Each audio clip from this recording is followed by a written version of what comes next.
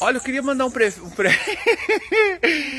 Eu queria mandar um recado pro prefeito de Guarulhos, pro Gucci.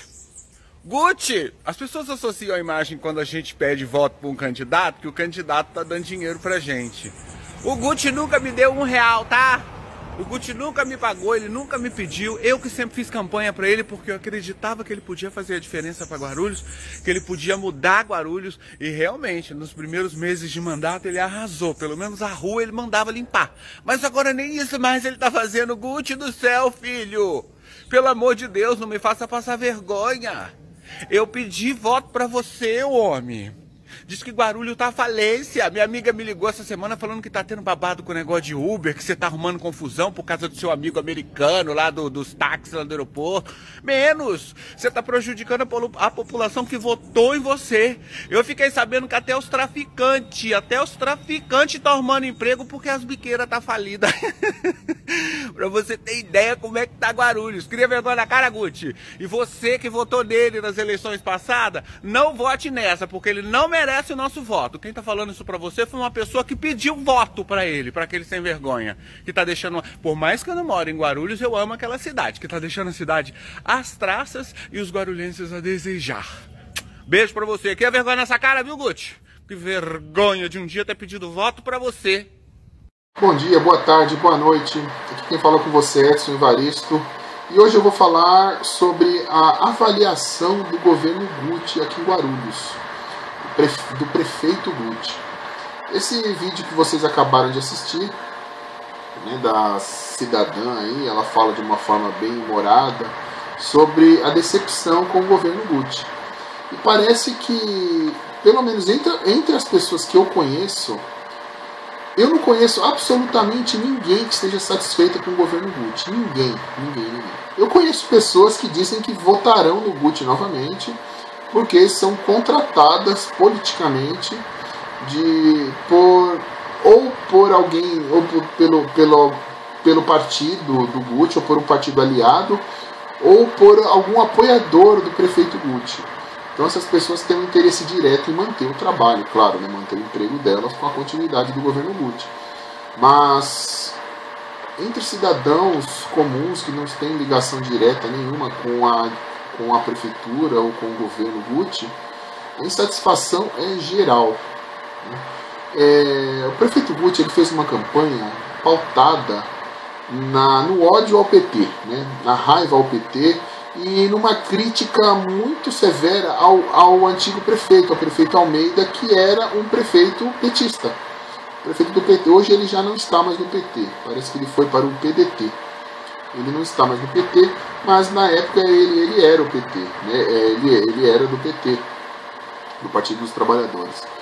E a cidade também estava num clima de grande insatisfação com o prefeito Almeida, visto que o segundo mandato dele é, deixou em desejar, a, a, a, bastante a desejar, principalmente no que se refere à manutenção da cidade era a, manutenção de buracos, a manutenção de praças públicas, esse tipo de situação.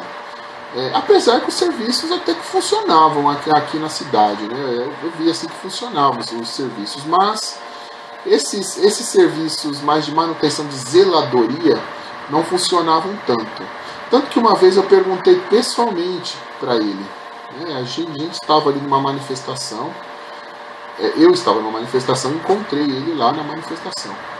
E, e era uma manifestação contra o impeachment da presidente Dilma, o golpe, contra, contra o golpe né, de 2016. E eu encontrei o prefeito lá.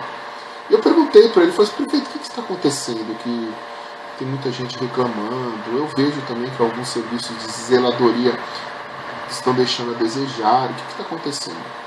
Ele alegou para mim que era falta de arrecadação. A cidade, devido à crise econômica provocada aí pela, pela Lava Jato, pela, pela, desemprego provocado pelas ações da Lava Jato, e teve, teve, teve uma, é, uma, assim, uma cadeia de falências terrível no país. Muitas empresas que dependiam, pequenas, pequenas e médias empresas, que dependiam dessas grandes empresas aí atacadas pela Lava Jato, né? sempre com o discurso de combater a corrupção. Mas é, então veio a crise econômica e então diminuiu-se a arrecadação da cidade. Ele alegou que era devido a essa diminuição da arrecadação. Eu não sei, mas foi isso. Né? E o prefeito Guti usou bastante isso, né? Essa, essa insatisfação, para, para vencer as eleições. Né? Usou bastante isso na campanha. Uma das bases que o prefeito usou foi o funcionalismo. O funcionalismo também estava descontente com a, com a gestão do prefeito Almeida.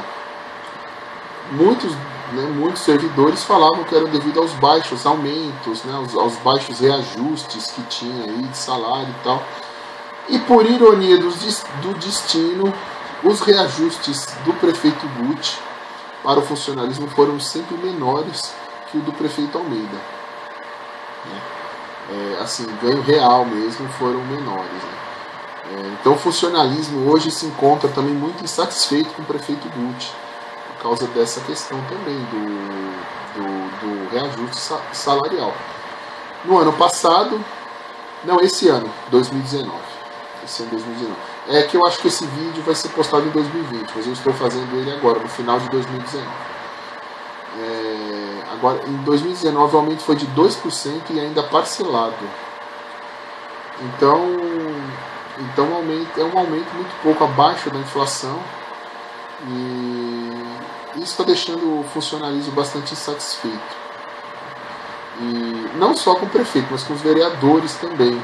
Né? A, tanto o funcionalismo como, como os populares, né? os, os munícipes de Guarulhos, é, estão bastante descontentes com a atual Câmara Municipal.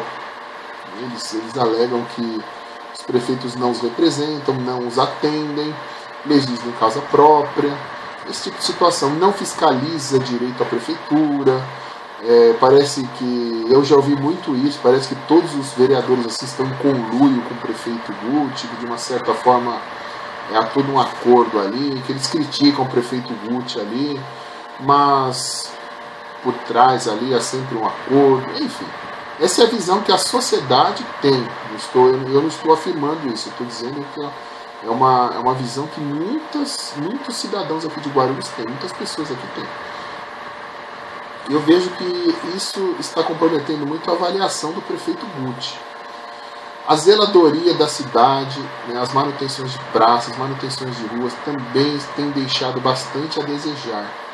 E parece que tudo que o Guti prometeu na campanha dele, principalmente é, melhores condições para os trabalhadores, isso não foi cumprido os trabalhadores, os servidores continuam ganhando pouco, tendo pouco reajuste.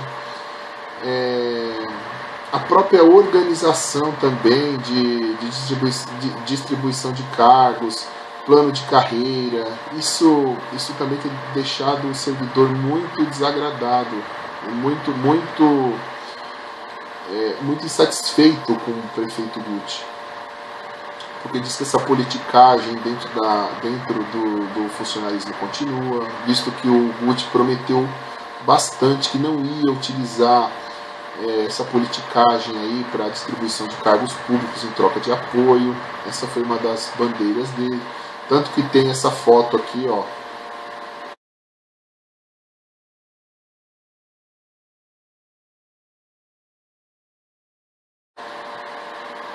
viram essa foto aqui da campanha dele, que é uma foto que foi uma figura né, que foi utilizada aí amplamente, principalmente pelos servidores. Dizem que o Gucci foi eleito com a força dos servidores, porque esses servidores é, têm família, eles conseguiram convencer familiares e amigos e, consequentemente, o Gucci acabou vencendo por causa dos servidores.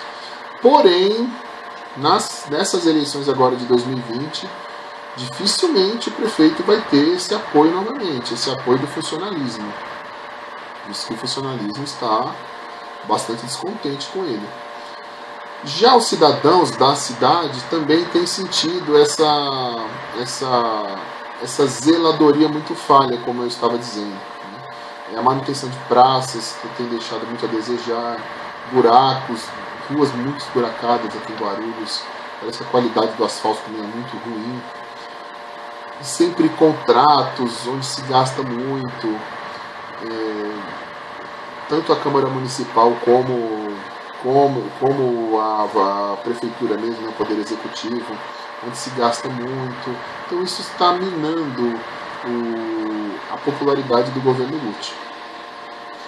Algumas enquetes que se fazem aí, se fazem aí pelas redes sociais de algumas personalidades aqui da cidade, o prefeito nunca nunca aparece como como insatisfeito, como essa, é, nunca aparece uma satisfação com a gestão do prefeito, nunca nunca aparece uma gestão positiva dele, né, do Gucci. Então, então é então é no, no modo geral a avaliação é muito negativa do prefeito Gucci. Houve a questão da saúde também, o fechamento do, da, do, da unidade de pronto atendimento Paraíso, que aquela região ali é, ficou, ficou sem uma importante unidade de saúde e hoje as pessoas têm que se deslocar dali para ir para outras unidades de saúde mais longe dali. E isso deixou muita gente insatisfeita também. As obras, obras muito lentas, porque fechou com a alegação de que reformar. E até agora as obras não terminaram. Hora para, hora continua. E as terceirizações que houve, ou terceirizações muito desastradas, muito mal feitas, terríveis.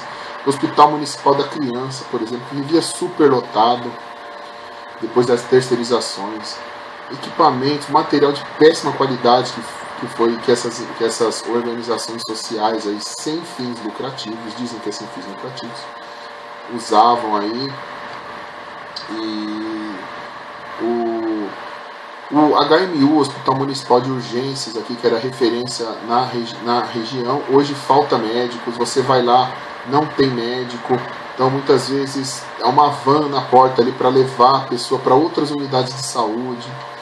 Então, assim, a saúde piorou muito, a demora dos, dos exames, dos, de marcação de consulta com, pra, para especialistas piorou muito, porque muito médico saiu nessa administração e não foram contratados novamente, outros médicos. Guti prometeu 150 médicos e até agora nada. Então, assim, o governo dele termina no ano que vem. Né? Não começou ontem o governo dele, como muitos esperançosos aí até delirantes mesmo, né? Falam do governo Bolsonaro, um governo que está começando né? mesmo, então não pode se cobrar tanto do governo.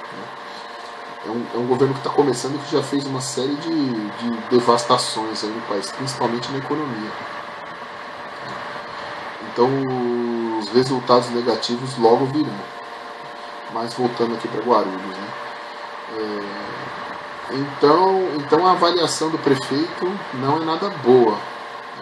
Eu não sei, eu não sei assim, na hora do vamos ver mesmo, da campanha, das eleições, eu não sei como vai ser.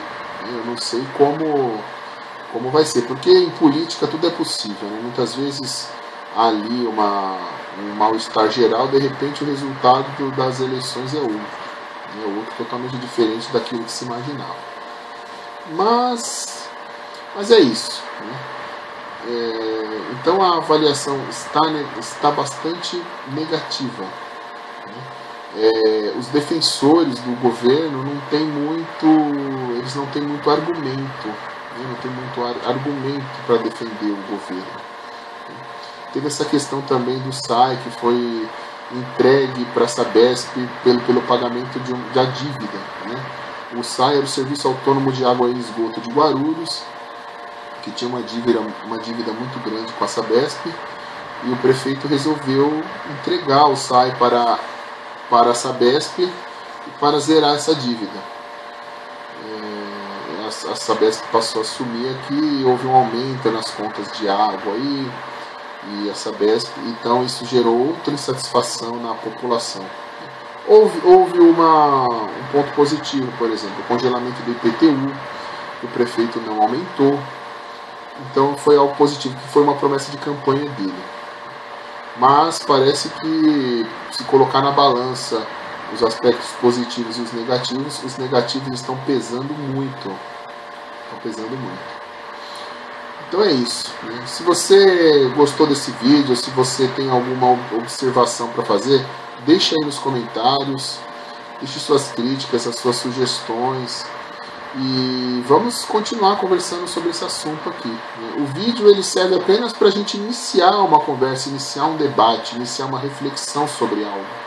Ele não é algo algo definitivo, algo pronto, né? não é essa a minha intenção, não é simplesmente fazer com que você é, passe a reproduzir o que está tá escrito aqui, o que está escrito, o que está sendo transmitido aqui no vídeo, mas que sirva para você refletir, né? para você pensar sobre. Então, então é isso. Né? É, curta o vídeo, deixe o seu like aí, inscreva-se no canal, ative o sininho, ative as notificações aí para você ficar sabendo quando tem vídeos novos aqui.